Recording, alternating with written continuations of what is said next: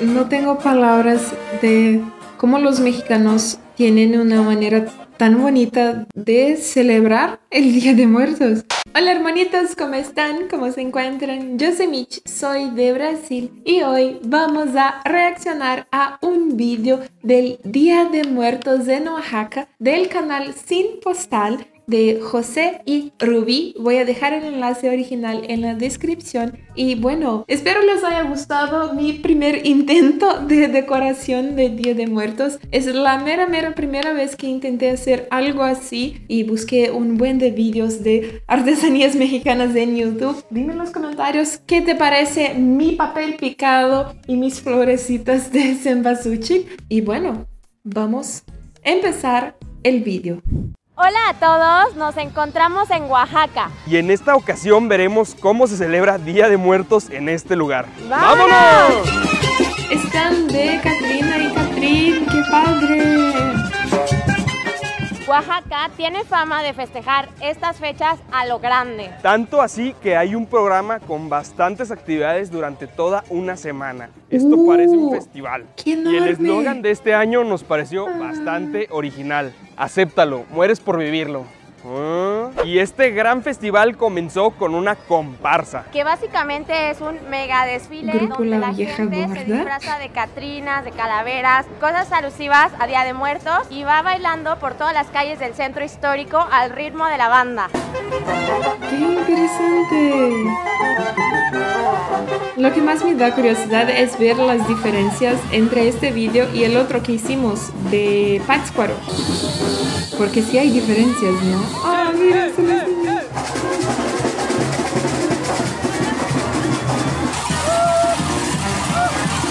¡Qué diferente!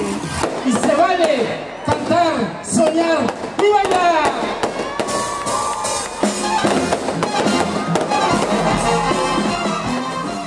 Y desde entonces hemos visto comparsas todos los días. Acá se usa que cada barrio organiza su propia comparsa Que pueden durar toda la madrugada hasta amanecerse. Mm.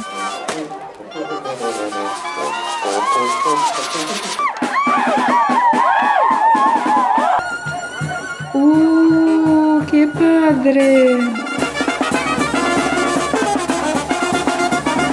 Muchísima gente. Algo que nos llamó muchísimo la atención es que las escuelas también organizan sus propias comparsas y desde chiquitos todos los niños se emocionan muchísimo con este tema. De verdad es todo un tema cultural. Hasta nosotros participamos en una comparsa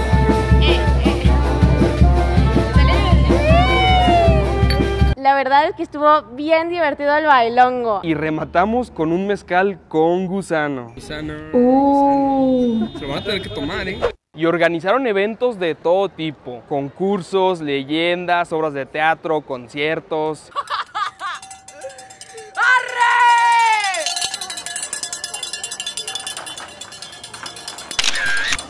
¡Wow! Y todo está decorado. Oaxaca se pinta de amarillo por la flor de cempasúchil. La ponen en los jardines, en los museos, en las calles, en todos lados. Una de las decoraciones que más nos gustó fue en el barrio de Xochimilco. ¡Qué diferente! Chéquense nada más Xochimilco, en de Oaxaca. arte. Una mazorca hecha de más mazorcas. ¿Una La mazorca? mayoría de la gente sabe que Día de ¿El Muertos es una tradición mexicana en donde se honra a la muerte. Pero muy poca gente sabe que la UNESCO lo declaró Patrimonio Inmaterial de la Humanidad. ¡Oh! Por cierto, no soy un panda obeso, ¿eh? Nos maquillamos de Catrín y Catrina. Vemos que aquí todo el mundo se disfraza o mínimo se maquilla. No sé cómo le hacen las mujeres, pero maquillarse los ojos es todo un martirio. Hasta los gringos y otros extranjeros se unen a esta tradición de representar a la Catrina. Nos encanta que acá los disfraces son muy tradicionales. Se ve que se les dedica bastante Y dinero, pero sobre mucho. todo Y tiempo. De hecho, nos tocó un concurso en donde algunos de los participantes tardaron hasta tres meses en hacer su disfraz. ¡Wow! Uh, Increíbles, ¿a poco no? Y súper elaborados. Wow. Qué El pan de muerto padre. estaba sencillón, pero traía buen ambiente, ¿eh? Hasta panecillos aventó. Hemos visto de muerto, muchísimos mano. altares por todos lados y todos súper preciosos. Hasta parece que se pelean por quién pone el más bonito. De hecho, bautizamos al corredor turístico Alcalá como la ruta de los altares. Vas caminando y en todos los locales encuentras algún altar de muertos. Y en la biblioteca pública que está en el corredor nos encontramos toda una joyita. Pusieron altares tradicionales de ¿En la todas las regiones de Oaxaca, hasta un altar prehispánico, ¿eh? ¿Qué tal? Precisamente esta celebración proviene desde los tiempos de las culturas prehispánicas, quienes enterraban a los muertos con ofrendas. Algunos de ustedes me explicaron en los comentarios de los otros vídeos un poquito más Y un elemento del- primordial en de la tradición prehispánica. pan de muerto. Tan importante que hasta se hizo una feria de pan y chocolate. Pues ¿Cuántos vamos a ver cuál pan nos hace ojitos. Chequen nada más esta obra de arte. Este es un molinillo que utilizan para batir el chocolate y generar la espuma. Ah, Antes y después. qué interesante. Sí, total, una obra de arte, ¿no? Muy padre. Pues compramos un pozontle. Es una bebida a base de cacao y al final se le echa granillo de maíz. Mm. Quiero probar eso. Pues este fue el que nos hizo ojitos. Miren sus ojitos. Se llama pan, Pan de, de yema, yema. y es el original pan de muertos. En realidad se vende todo el año, pero Oh, durante ¿en esta temporada les ponen las caritas. Pero bueno, cualquiera se Es el toma con original. un buen chocolatito. Y obviamente de agua. Porque aunque ustedes no lo crean, nos gustó más que el de leche. De verdad. Y esto funciona de la siguiente manera.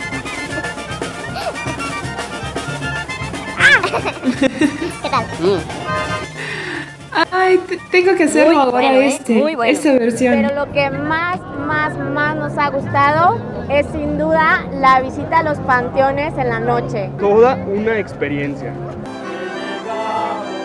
Wow. Sí, llenísimo. Mira, qué hermoso. Wow. De hecho, hay tours que te llevan a diferentes panteones. Nosotros decidimos hacerlo por nuestra cuenta. Visitamos tres y cada uno tenía lo suyo. El 31 visitamos el primer panteón en el barrio de Xochimilco. Desde que llegamos nos enamoramos del atrio. Estaba súper bien decorado. Increíble. Además nos regalaron chocolate y pan. Nosotros bien contentos. Pues ya entramos al panteón y lo primero que vimos fue una señora bailando al lado de una tumba con música mixteca. Imagínense, esa fue nuestra primera impresión. Música y baile en un cementerio.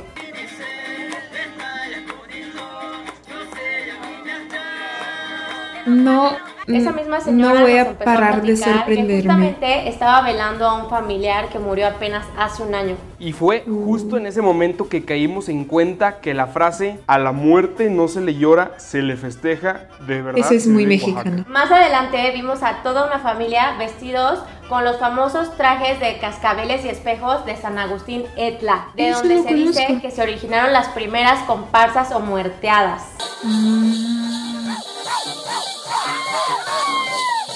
Pero qué, Qué energía diferente. traía toda la familia, ¿eh? De ahí nos fuimos al siguiente panteón en Cojocotlán. Mucho más grande fue el panteón que más nos gustó y más nos impresionó. Desde que llegamos se escuchaba toda la música.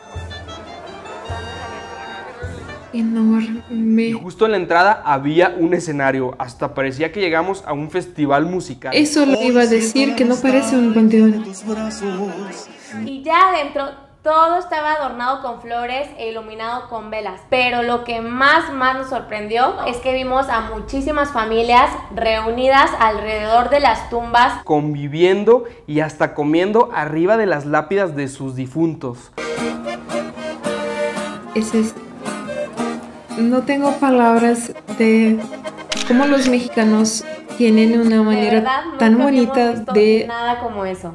De celebrar el Día de Muertos. Platicamos con algunos y nos dijeron que pasarían toda la noche en vela para que toda la familia conviva con los que ya se fueron. De verdad fue algo impactante. Nosotros acostumbrados a ver gente llorando en los panteones, aquí fue todo lo contrario. Alegría, risas y sobre todo unión familiar. Otra cosa que también nos llamó mucho la atención fue la calidez de los locales con los turistas. La misma gente Los te invita a mexicanos. acercarte para platicar y hasta para que tomes fotos. Incluso algunos nos pidieron que se las mandáramos. Después de cenar súper rico y bien barato en los puestecitos al lado del panteón,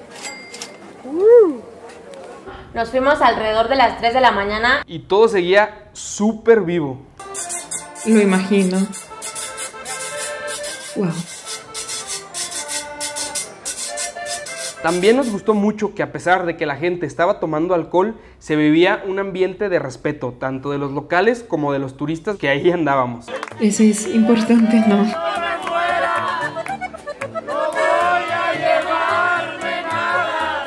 Bueno, al menos a nosotros no nos tocó ver perdición o algo por el estilo.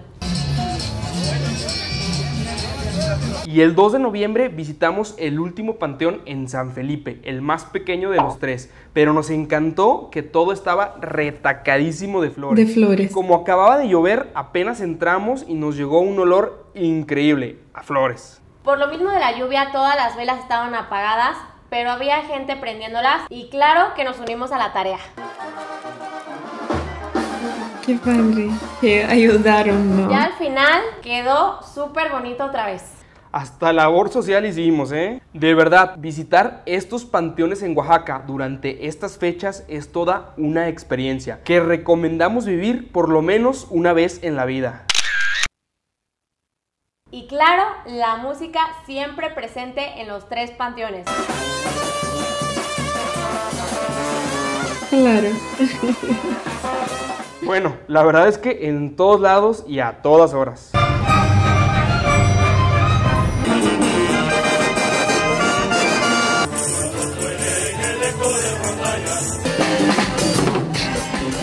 Muchísimo, ¿no? Que por cierto, nos gustó muchísimo una canción que tocan súper seguido. Se llama Los Tiliches, que precisamente es un disfraz. Cada que se escuchaba esa canción, Tiliche. todo el mundo se prendía y empezaba a bailar.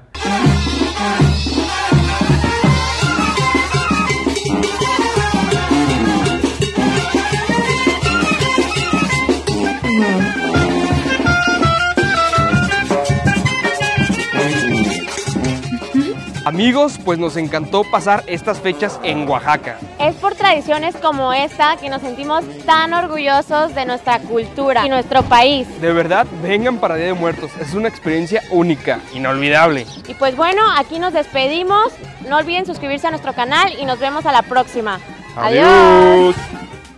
Wow, sí me esperaba que fuera algo muy genial, pero siempre voy a sorprenderme con la manera con la cual los mexicanos honran y celebran el Día de Muertos y honran a las personas fallecidas de su familia, porque en todas las otras partes del mundo, hasta yo, donde yo sé, hasta donde conozco, no existe nada igual, nada parecido, nada que traiga así ese, ese sentimiento mezclado, ¿no? Obvio que extrañas a su familiar, a su amigo, a la persona que quieres. Obvio que sientes su falta, que es triste porque esa persona ya no está, pero a la vez esta manera de celebrar, de honrar la persona, de recordarla, hace con que las cosas sean mucho más, no fáciles, pero no tan pesadas de llevar. Entonces, como yo dije en los otros vídeos de Día de Muertos que reaccionamos al PIB y al de Ford en Michoacán, es una mezcla de felicidad, de lindo que es con la tristeza y la falta y eso hace con que el Día de Muertos sea muy especial y por eso creo que a los extranjeros les encanta y les hace tanta ilusión conocer el Día de Muertos en México. Ojalá me toque el próximo año, pero mientras voy entrenando ah, con mis artesanías. Y bueno, sé que todavía falta educar a algunas personas sobre el significado del Día de Muertos, que no es nada más disfraces y fiestas, sino que hay una cultura muy fuerte, un significado muy lindo pero por eso estamos aquí, ¿no? Espero les haya gustado esta reacción. Díganme abajo en los comentarios más datos sobre el Día de Muertos que quieran compartir conmigo, me encanta leerlos. Voy a dejar otros vídeos en la pantalla para que elijas cuál quieres ver ahorita y te veo en uno de estos. Adiós hermanito, besos.